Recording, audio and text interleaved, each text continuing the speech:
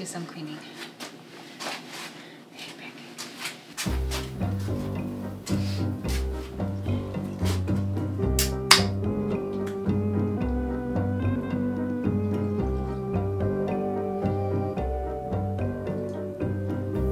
Hello, everyone. It's time to clear out the old energy and make space for the new. In Japan, there's an age old tradition called osoji, also known as the big clean. This annual practice involves thoroughly cleaning your house before the start of the new year. It's a symbolic way to purify your house and to begin the new year with a fresh slate.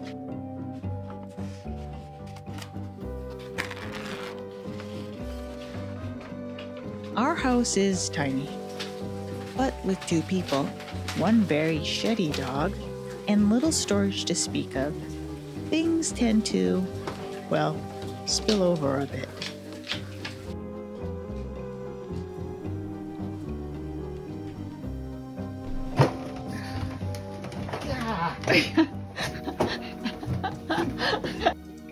The year gets away from us, here's our cleaning checklist we'll get started on.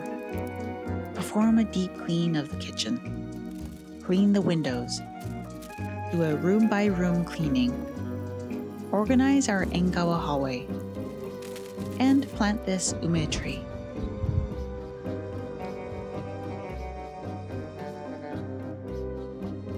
If you're new here, welcome. If you're a returning visitor, welcome back. My name is Mika, and this is Jessie. We're Canadians living on Shikoku, Japan's smallest main island, in an Akiya house, one of the many abandoned houses in rural Japan. This is our dog Pancake.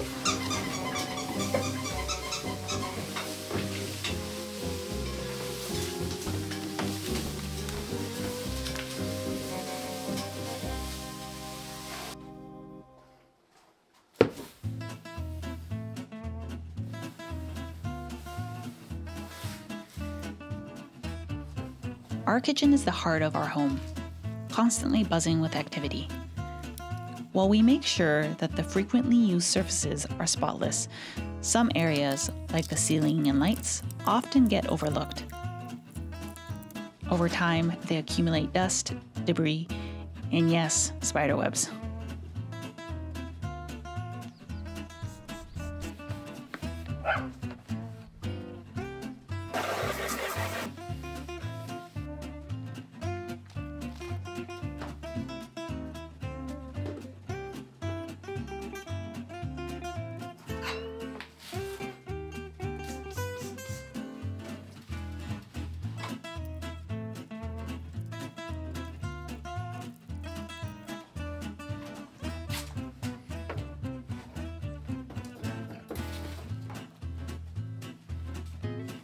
Living on the fringe of the forest comes with its own challenges. There are a lot of wildlife excited about the prospect of unguarded food. So we've adopted extra measures to safeguard our food from some of our wild furry neighbors. This involves storing our baking supplies in large plastic bins to deter any uninvited guests. Our 1950s vintage kitchen cabinets are metal with gasket edges, which reveals to us that the previous owner also took serious precautions to safeguard their food.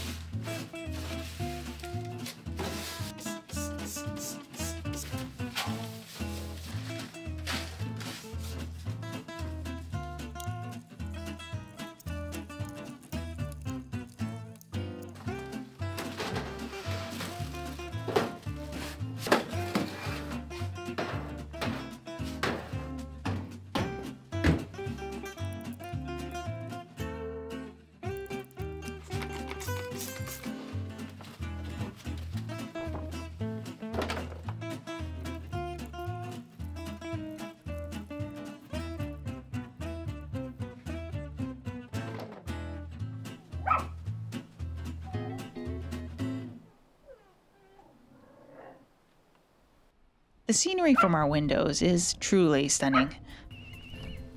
However, the beauty of our surroundings can be marred by the gradual accumulation of dirt and grime on the windows. By cleaning them, we restore clarity to our view and refreshen our perspective that lies just beyond the glass. Plus, a good window cleaning day gives much entertainment for the dog.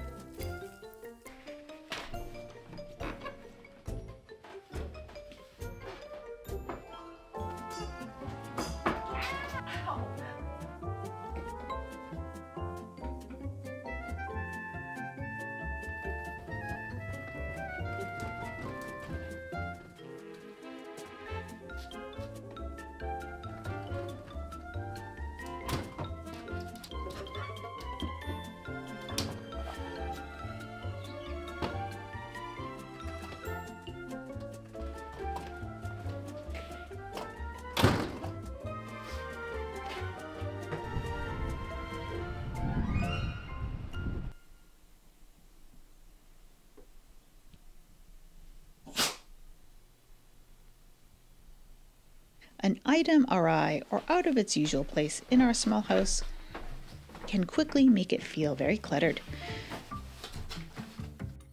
We don't have much storage space, so my desk becomes a catch all for many miscellaneous items.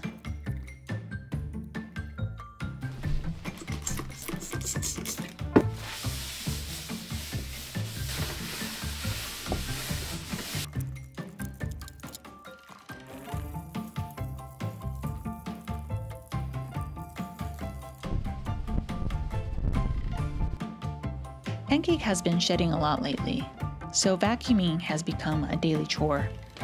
But for a more thorough job, dismantling our kotatsu is required to give it a proper hair free cleaning.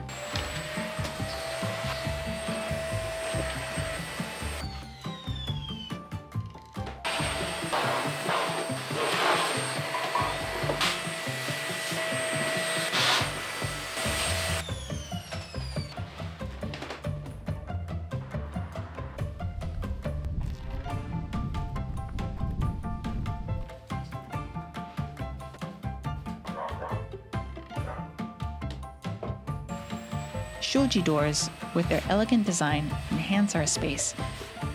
However, one drawback is their tendency to attract dust like a magnet. These delicate doors demand careful handling and regular maintenance to keep them looking their best.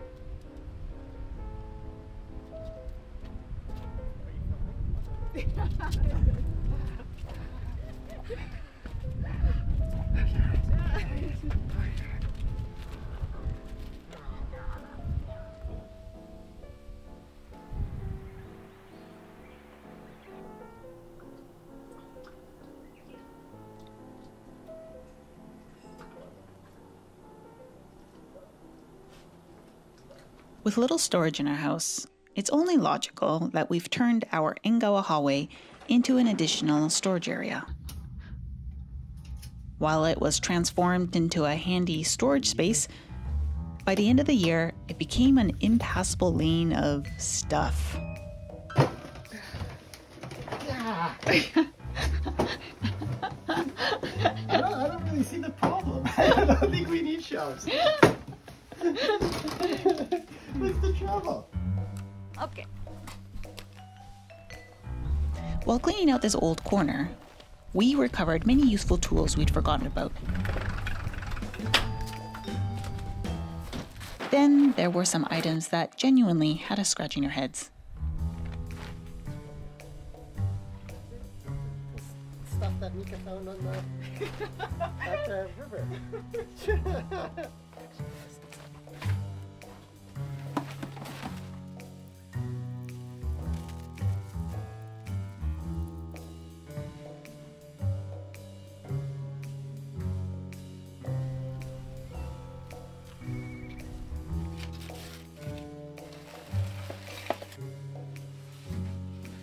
We also encountered some familiar characters from the Japanese country household. Oh, God! What? Oh, sorry. The gecko surprised me.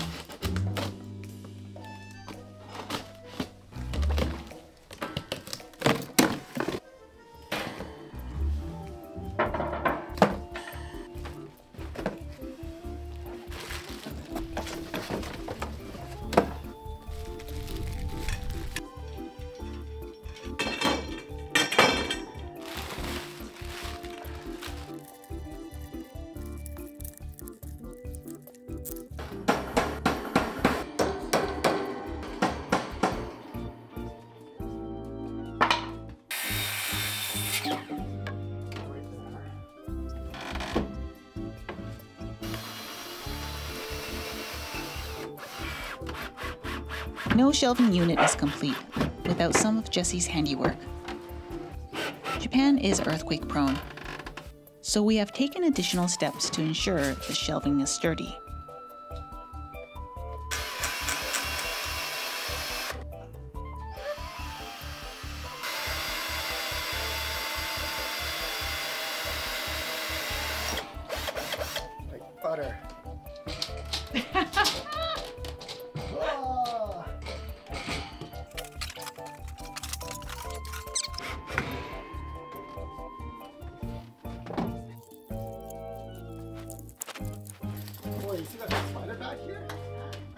Where she came from.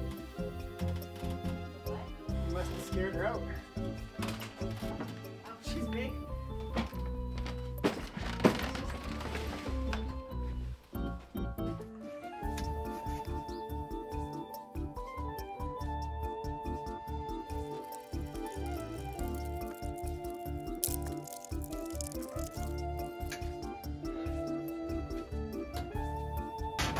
Worst things is my tools were so scattered. It's hard to find things.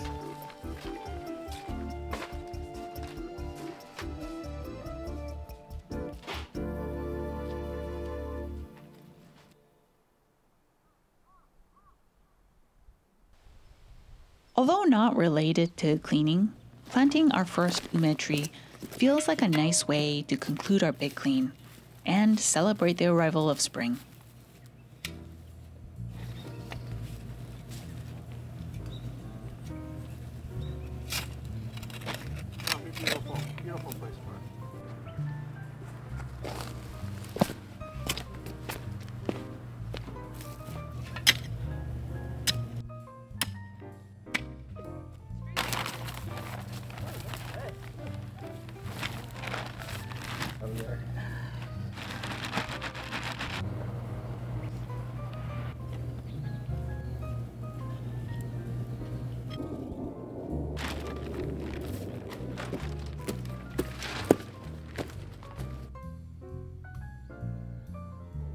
Spring fast approaching, we're eagerly anticipating warmer temperatures as the season unfolds.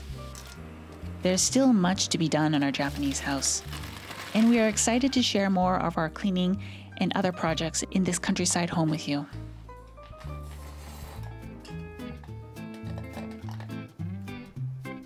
I want to give a huge thanks to everyone who has supported this project so far. Your support makes a significant difference and enables me to continue creating this countryside content for you. Thank you for watching, and we'll see you next time. Bye.